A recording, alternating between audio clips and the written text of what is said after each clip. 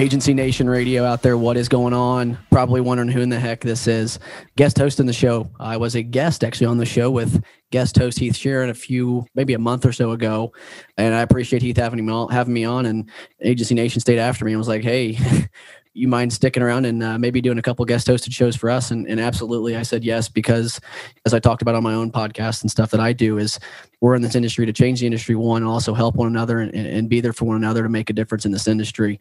We're all in it together and it's guys like this next guest that we're going to have on the agency nation radio jason walker who is the ceo and founder of agency InsurTech man, does he have some really cool things coming along. And, and, and, I can't wait to dive into that and see where the modernization of data and analytics and see where those, where that platform and where, where this industry is leading us down the way. And hopefully we can get into that pretty quickly here. But at first, I want to thank Jason for joining the show today and look forward to diving into some stuff here with you, Jason. Thank you, Mitch. Appreciate being on here and happy that everybody's tuning in. Probably more so since you're hosting versus me. Oh, come on. I, I would have to admit because I, I admit my mistakes. We were recording this 20 minutes after I had we had had it planned because I decided to stick around the Mexican restaurant and eat, eat some more chips and salsa too late. So I'm already behind the eight ball a little bit, but I'm looking forward to bringing you guys a great episode and appreciate the Agency Nation team for giving me an opportunity to host a show and bring some amazing content to your guys' ears and eyes and hopefully continue to help us change the industry. So, Jason, I guess without further ado, man, instead of diving into what you do right now how we've got these questions or how I've got this kind of laid out here in my mind, it probably won't go the way it is because the ADHD. but as far as where the industry has came just within the short past five years, let alone the last 25 years, with what you guys are doing over at Agency InsurTech, where do you personally, insurance professionals, see this industry going on the data and analytics and, and digital side of things? Yeah, I appreciate the question because it's timely. As you know, Mitch, we've seen this influx of insurance technology firms that are just bombarding the space at this point. And what I like about that is a lot of the insurtechs are focusing more and more on the agency channel and trying to enable both growth and retention. But you can probably imagine with all these new tools and technologies that are pouring into the space, it's creating a lot more data to be able to capture and leverage and do something with it in order to help prescribe and predict what we should do as agents.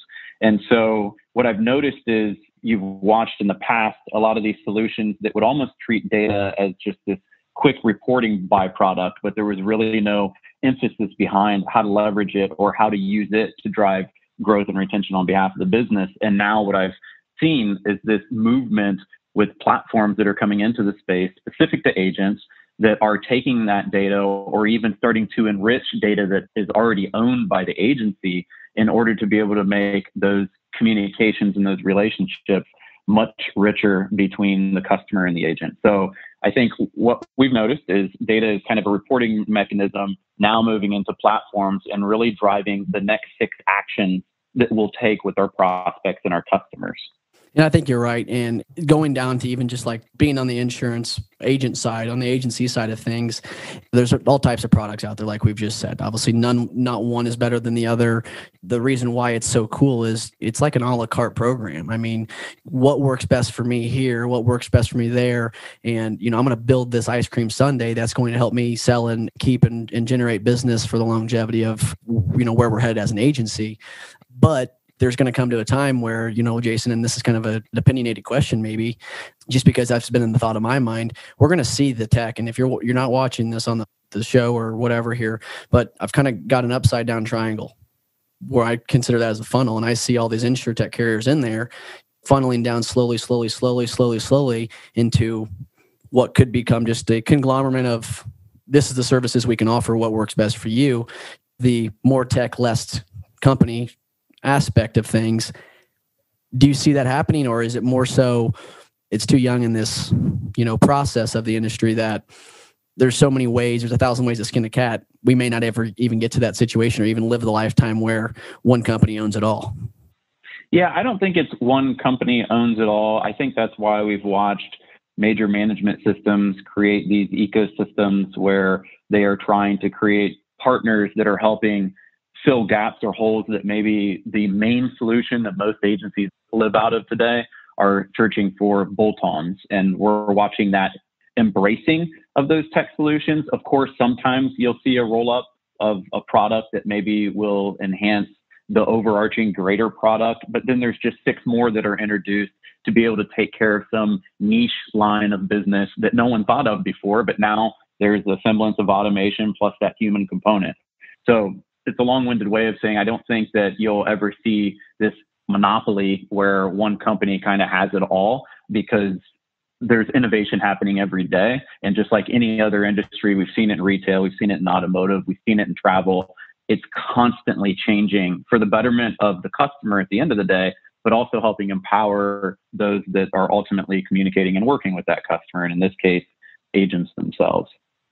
Which I think is cool because you're starting to see, even if it's some of these younger carriers that are starting to come about, having going with the open API system idea. And that opens up a heck of a lot of difference with marketing and, and advertising and branding to where if people can just get on their phone and go quote it based off the website and know that they're going to quote the correct limits because you're not going to give them another option and they bind it and issue it without even talking to you.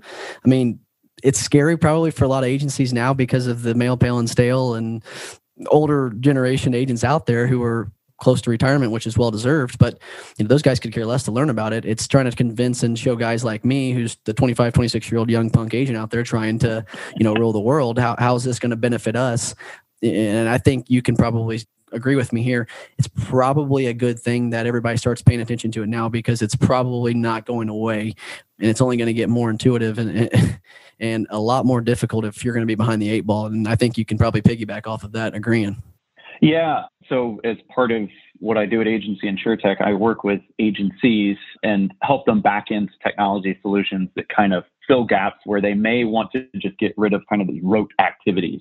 And so one of the things that keeps coming up is the next generation of the people that are coming into the business and how will they start to adopt the technologies and how can an agency attract talent that's young and that conversation continues to take place. So those that may be in that retirement phase are absolutely saying we want to make sure that this business is set up for that next generation. So instead of talking to me, talk to my son or daughter or whoever else has acquired the business.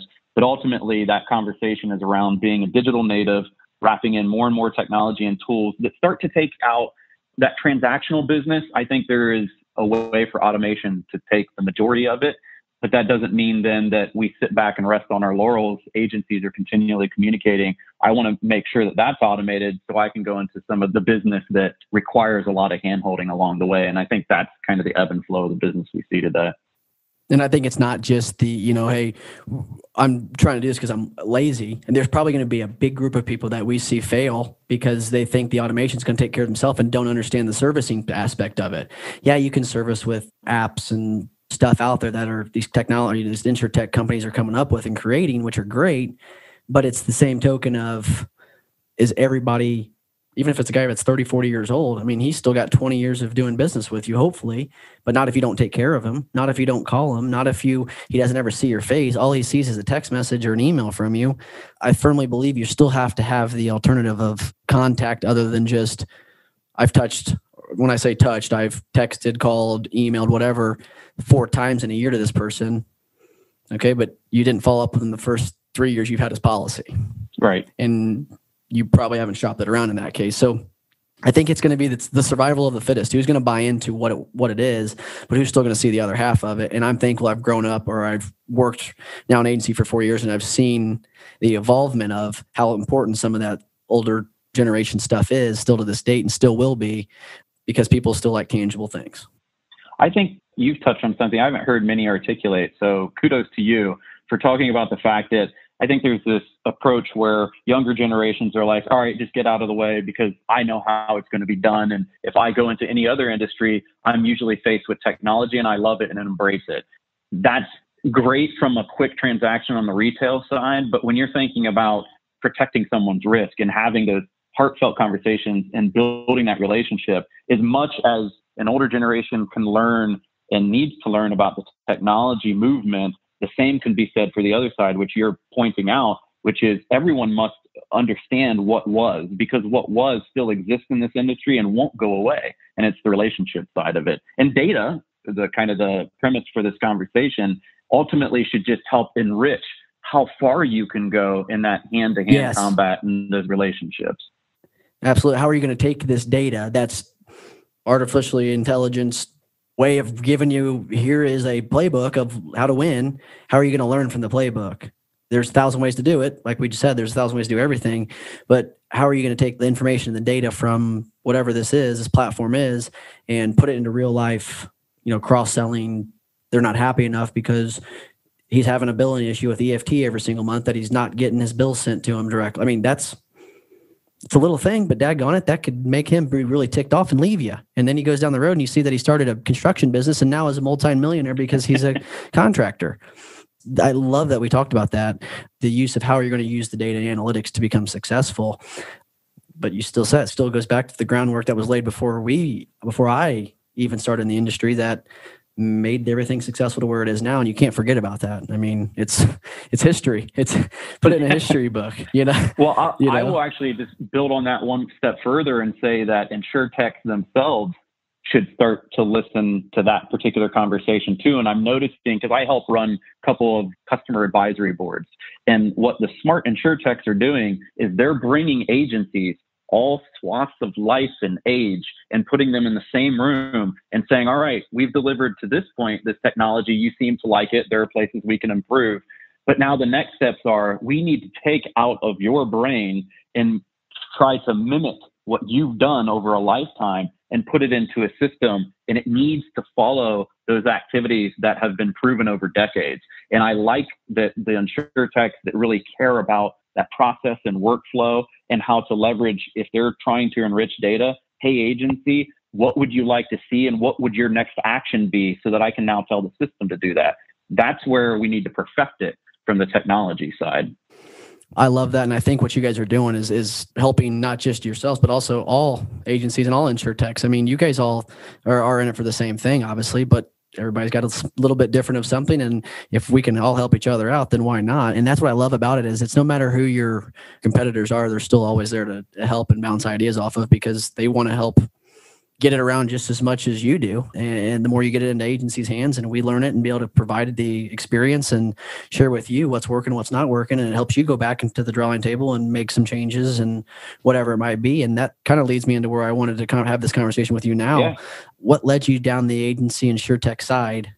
Because you've had to experience something that you didn't believe in or didn't like at some point in time and said, I want to make a solution out of it. That's what I've kind of noticed with these insurtech guys is they've loved what they've done, whether it's on an insurance side carrier or something.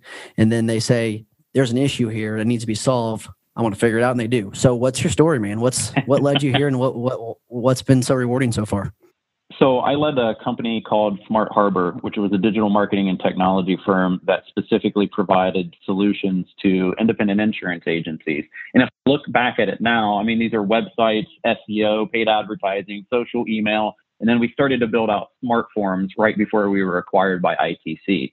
And in that entire process, what I noticed was we were such a small bite-sized portion of the overarching agency stack, everything that they needed in order to be able to conduct business. And so we weren't ripe with capital. We were basically living off of our own revenue, bootstrap, all that good story. But what that forced me to do very quickly is go look at all of the insurance technology firms that were helping support everything that Smart Harbor wasn't. And there was a lot that we weren't doing on behalf of the agency. But in my mind, I was like, we need an ecosystem of all these connected solutions and services so that an agency is just comfortable with running process A to Z. They don't even care about our brands really. They just want to be able to do something from beginning to end. And so once sold the business, it was let's start helping connect the distribution channel of agencies with the technologies that care about them and start to create this visualization and categorization of all the solutions and technologies in the space and where they have to make handoffs in order to make the agent and their customers' life better. And that really just spun up Agency InsurTech to help make that happen, to execute. A lot of people like to talk, but they don't like to roll up their sleeves. roll up sleeves, put the hard hat on and the lunch pail and go go blue right. collar days. But obviously with the customers that you've you know helped out and, and currently serve to this date and this, these agencies, is there a specific story or any, you know, I guess a testimonial that really hits home to you and is like, when this is the reason why we're doing what we're doing and why this is going to be so successful for agencies down the road? Yeah, I think it's honestly, it kind of goes back to the beginning of this discussion. It is the challenge of thinking about putting technology into the business where in the good old days, intuition won the day and it still kind of rules the day because I will hear over and over again, oh, you know what? I don't even touch that solution, even though we've invested in it. And the reason why is because I know immediately which set of carriers I should be going to to rate quote bind. This solution really just takes me more time. But the part that's being lost in that discussion is once you're done and want to hang up the hat, what about the next 70 people that are going to follow in that lineage to keep that business perpetuated? And it comes down to this cultural shift of how we did business versus how we're going to do business. And everybody rallying around the adoption of solutions that will make their lives simpler without making anyone fear that it's going to displace them because we've already established it can't. And so it's that fundamental challenge of really getting the people plus the technology to meld together that excites me on a day in, day out basis and not just buying a solution just for the sake of saying I did it because 3,000 other agencies did it. It has to be more than that. It has to be around the needs of the business and where they plan to go next and putting that all together. So it's like a puzzle and fitting a bunch of pieces together and having some real difficult conversation. I can kind of piggyback off of that because I'm kind of in that category, right? With not just my age, but also where I work. And actually, there's a pretty cool story that actually I shared with Jason before, but it's not the right time to share it yet. But it's pretty cool that I think you guys will all be uh, pretty happy about it. But kind of what I've dealt with, you know, recently was, you know, we just adopted DocuSign in 2021. We are just now using DocuSign, and they would, or two of both the owners were standing right here and laugh because, I mean, even Brent, he just sees it working. He's like, yeah, great. I haven't printed a piece of paper since we got it. We updated our agency management system to this new, you know, the new AMS core and platform, whatever they've got. And I'm the only one that uses it. Yeah, I was the one that brought it up and thought it was a great idea. And it is because I haven't printed a piece of paper off. It helps me easily input prospects now where I was not even putting prospects in before. I was just taking the customer sheet that I have been writing on and giving it to my CSR and she puts it in. And once policy downloads, sends out a thank you email. That was it this thing's allowed us to now allow, allow me, you know, so I've now been putting together this, the back end stuff, the automated stuff that's going to help some of the processing and lower the workload for the CSRs that are getting stuff thrown at them every single second. But it's, you know, they almost have to see it work before they believe in it. And it's not that they don't believe in it, I think. And I'm kind of hollering at the young agents here for a second, Jason, but it's not that they don't believe in it. It's just that where they've worked for the last 25, 30 years of their career, ask yourself this if someone said hey let's do this would you want do you think you want to learn that for two years or a year and a half before you retire heck no i didn't even get the one of the agency owners to log in for it it wasn't going to help them out right. but it will help the next person out if we use it the correct way and if we all start coming on board with it everybody's going to see how much it's going to help each everybody out and that's just the way technology is but it's hard with that middle market at this level because all those agency owners are at that age of retirement. How are you guys working through that process with you know those middle market agencies who are trying to dive in or believe in the technology, but aren't sure if it's worth the time or effort, or maybe that's just the issue is they just might not want the time and energy to learn it. I think what I've noticed, and maybe I've just been lucky, but those that I'm working with approach this, I hate the word, but transformation to technology by injecting some authenticity and some humility. So I will run kind of like whiteboarding sessions, for lack of better terms, where I bring in from the agency leadership of the agency and those at the execution layer. And there's about 10 to 15 people that will interact. And we'll go through all these exercises that sometimes make no sense to the people as they're going through them. But ultimately, what we're driving at is what are the most simple opportunities to be able to get quick wins for the entire agency kind of like your DocuSign pieces that you're bringing up is some of the what we maybe think is like, look at us, we're 2021, we're finally adopting DocuSign. But to put a product in place like that doesn't really require a lot of work from anyone else, but demonstrates the power very quickly from an e-signature perspective. That then incrementally tells us, oh, well, if that works that easily, I bet I was kind of pushing away these solutions because I thought it was going to take me a lot of time maybe I'll give them a chance. And so you have to stair step up, and everybody that's in these sessions has to take that ego out of the play and they have to drop their titles. It's more so what are we just trying to do in the next 10 years or whatever? Very business 101 type of approach that's going to allow technology to relieve some of our lives so that the 20% or 10% that takes up the majority we have time for and we still have space in our day and our personal lives. And so it's kind of that approach where uh, I wrote for Agency Nation a while ago, and the title was something of the first rule of technology we don't talk about technology, kind of like Fight Club. Let's not approach it from that perspective. Let's approach it from the perspective that if I could have everything perfect for me, I'd get rid of these five things out of my workday. That's great. Now we'll figure out if there's something that can help you, or maybe sometimes you're just going to have to buck up and live with it. But getting down to that conversation is usually what opens up the world to everyone, and it's important. I don't know if this is going to get me in trouble when I say this, but you talked about the, you know, you get together and you drop the executive, you drop the name titles and everything. It helps I, the creativity it probably brings out in everybody too. I mean, just as you open your mind up to more things and new things, whether you believe in them or not, just see and learn because it's going to open your mind up to saying, oh, yeah, I could have used that. Or you get two years on the road and said, man, this would have been a sweet thing to incorporate. Right. just on an automation standpoint. Have you heard of Canopy Connect? Yes. So I use Canopy Connect avidly. And where I think some people have used Canopy Connect is anytime when someone wants a quote, they send them that.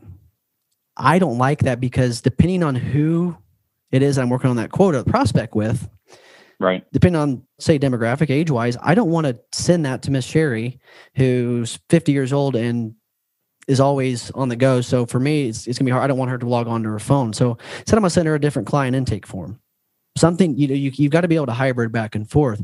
Where the Canopy Connect platform has the reason why I'm saying I don't going to get in trouble. This is no paid ads. All right, no paid advertisement here. I'm just using the example of how I've used technology in a sm- much smaller way instead of having everybody and their brothers do it my mortgage lending referral and real estate referral partners have my canopy connect link refinances new home purchases the new home purchases are a little bit different on how we have our little trio going but that has helped me out on so many of his refinance customers where they're not on a refinance they're going to spend so much time on the insurance piece mortgage lenders aren't Right. They'll spend more time on that on the new purchase, though. So if I gave him an avenue using a piece of technology, which is just a link that he can now say, hey, steps on your refinance, make sure I get this, this, and this. Also, follow up with this link to get your insurance comparison tool. I get their dec pages. I just won an insurance battle by a link that I don't even tell him to click. So there's ways. I mean, it's just creativity. What you're describing is it complements what you're watching in the industry where we're seeing new age, I'll call it that, I guess, insurance agencies that are popping up that are figuring out how to put themselves into the middle of the home buying transaction, which is smart and simplistic. Again, we don't have to go leaps and bounds in order to be able to understand where just a little injection of technology matters to the business. But agencies that just have that single focus can then go and put themselves into a mortgage application like you're talking about and by default, they're just going to get all of that flow of traffic moving forward. And it's that referral partnership that might drive the majority of your business. And so we're seeing that even if we tie it to the data play, because there's a huge data play there, capturing all this information on something that we in our lifestyle, we're making a big change, a life event. That life event information can be used and nurtured in such a way that it triggers the insurance add on to it. Because we as consumers, many times, don't think about insurance except for when we legally need it or we experience something, you know, that ultimately requires us to call it forward. So how do we put ourselves into the totality of birth to death, not to be morbid, where we can have our little piece of the pie where we might be an afterthought, but we're receiving that influx of business. You've done that, and we're watching a lot of insurance agencies come up out of nowhere and creating just those types of experiences. And on the back end of the technology so you've used it you've got the business right? Now let's look and say because the way they got it you can create multiple different links. Now you've got data to see oh this mortgage lender sent me 12 this month. This mortgage lender sent me three just based off of seeing you know what link he that where it's coming from i mean that's great because then you can identify i spend a lot of time with this mortgage lender and he's you know he's hasn't sent me the best of business I'll still help him out if he needs it, but I'm not going to, you know, I'm going to spend more time with this guy. I mean, you've got to take care of your people, and that's it. You know, you still have to yeah. take care of your people and network like they did in the old days because it matters. and it's the trust factor and the technology is something that people are learning to trust and see that it does work so if it's working let's make it happen. You see what i'm saying? And i think that's probably what you're getting feedback on now is you're seeing so many agencies are getting good feedback that it's working the process is working. You're excited. You said the excitement that you get but then you have the thought in the back of your head of what's next? Where do you want to see agency insurtech go? And is there anything out there that the industry needs to hear about what you guys do? Yeah, I appreciate that opportunity. There is something that has kind of soft launched. It's called Insurance Playground. It's insuranceplayground.com. And your question earlier about why did you go into this particular space, you must have noticed something that was missing. I've noticed that there's a lot of educational resources, great educational resources. And I've noticed that there's a lot of conferences with people on stage that say some great things. And then I would always sit there and look at the reaction of the agent that was in the crowd. And what usually happens is I'm going to say a bunch of great things on stage, wipe my hands, walk away. I'm going to tell you what you need to do, but I'm not going to help lead you to how to do it. And so I built Insurance Playground, which is a marketplace that is aggregating all of the insurance technology firms that are supporting insurance agencies. And I am codifying the entire landscape. So categorizing whether it's prospecting tools, whether it's sales tools, servicing tools, you can get the idea. And then so then an agent will come in and they'll be like, ah, I just need some marketing tools. Great. Choose the marketing category, dive in and start to learn about and then do a comparative rate across three technologies and you can see them all on one page. And the profiles of these technology firms are as good as what they say about themselves publicly in five to six different places. We're just pulling it forward so the agent can look at it in one. That's pretty cool. Yeah, it's missing and it's it's necessary and so it's really there to just help agencies all free, free, free, free. We cannot tell them what to do and throw up a paywall. sure, you see you see these insurance groups, mastermind groups, and even like young agents groups, but you don't see uh the sites like agency intelligence has that structure of here is our all of these shows insurance shows across the board even agency nation. You know here's all of the insurance company because we want to help. Right. It's not well, this is my you know same thing with you. Why not have a place that's one stop shop and can do exactly what you're trying to do? You're trying to drive traffic to it. We all get it. But you've set up something that's a one place that people can click to and you said that was insuranceplayground.com that's right if you're on Facebook or LinkedIn, follow me, Mitch R. Gibson. You can see I'll put that link up of that, and then we'll kind of get the ball rolling on that. That's that's pretty cool stuff and stuff that needs to be shared out there in the uh, public. But Jason, I'm gonna take this from my boy Heath Sheeran for a second because he he's the mayor and he likes to give you the keys to the stage for a minute. But I'm gonna give you the keys to the Agency Nation radio microphone. Anything that you think that agents, young or old, out there need to know, or any advice I want to hear what you got to say out there for all those people and, and for the longevity of our industry and career. Yeah, I would say to approach everything with simplicity. And there's a quote that I don't have in front of me, but the whole point is sometimes when you approach something simplistically, it's the most complex action that you'll take. But once you can start to distill everything that you do, the choices that you make, down into something that's simple. Like I just want to remove the fact that I have to put pen to paper on this particular workflow or process. If you can get yourself to think about those types of activities that you do on a day in and day out basis and say, I want to eliminate five of them. Great. That's a perfect start to then lead you towards, well, let me look at whether it's technology or maybe even a workflow change or a process that you just need to improve and do one pivot. Take one pivot in your business that's really all that it takes to create this, what everybody calls transformation. And you'll be happier. You'll see the efficiencies. You'll see time gained back that you'll be able to focus on those things that really matter to your business.